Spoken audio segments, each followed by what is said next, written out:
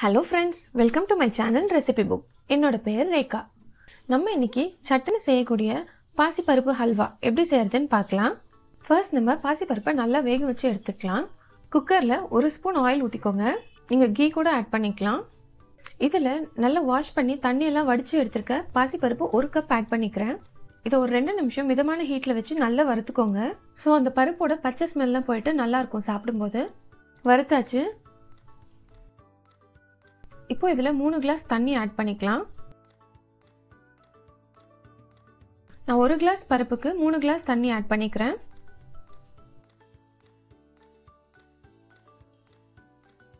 இது மிதமான ஹீட்டில் நாலு விசில் வச்சு எடுத்துக்கோங்க.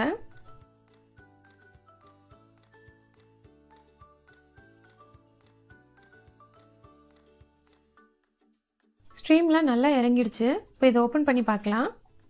நம்ம பாசிப்பருப்பில் நல்ல குழைவாக வெந்திருக்கு. இப்போ இதில் ஒரு கிளாஸ் பால் ஆட் பண்ணிக்கிறேன். ஒரு கிளாஸ் சர்க்கரை ஆட் பண்ணிக்கிறேன். சர்க்கரை கரைஞ்சா போதும். இதை ஒரு ரெண்டு நிமிஷம் கலந்து விட்டுக்கோங்க. அவ்வளோதான் இதை நம்ம ஒரு ஓரமாக வச்சிடலாம். இப்போ ஒரு கடாய் வச்சுக்கோங்க. இதில் ரெண்டு டேபிள் ஸ்பூன் நெய் ஆட் பண்ணிக்கிறேன். முந்திரி பருப்பு ஆட் பண்ணிக்கிறேன். இது பொன்னிறமாக வறுத்துக்கலாம். வறுத்தாச்சு. இப்போ இதில் நம்ம கலந்து வச்சுருக்க பாசிப்பருப்பை ஆட் பண்ணிக்கலாம். ஸ்டவ்வை நல்லா சிம்மில் வச்சுக்கோங்க. இப்போ இதை ஒரு அஞ்சு நிமிஷம் நல்லா கலந்து விடுங்க. இதில் கால் கிளாஸ் ரவை ஆட் பண்ணிக்கலாம். நம்ம பாசிப்பருப்பு எந்த கிளாஸில் ஆட் பண்ணுமோ அந்த கிளாஸே யூஸ் பண்ணிக்கோங்க எல்லா மெஷர்மெண்ட்ஸும் இப்போ இதை ஒரு ரெண்டு நிமிஷம் நல்லா கலந்து விட்டுக்கோங்க. இப்போ ரெண்டு நிமிஷம் ஆயிடுச்சு.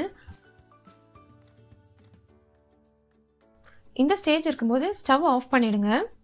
பத்து நிமிஷம் கழிச்சு அகெயின் ஸ்டவ் ஆன் பண்ணிக்கோங்க. பத்து நிமிஷம் ஆயிடுச்சு.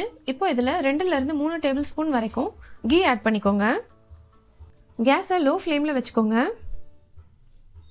கீ நல்லா அப்சர்வ் ஆகுற வரைக்கும் நல்லா கலந்து விடுங்க. அவ்வளோதான் நம்ம சுவையான பாசிப்பருப்பு ஹல்வா ரெடி ஆயிடுச்சு.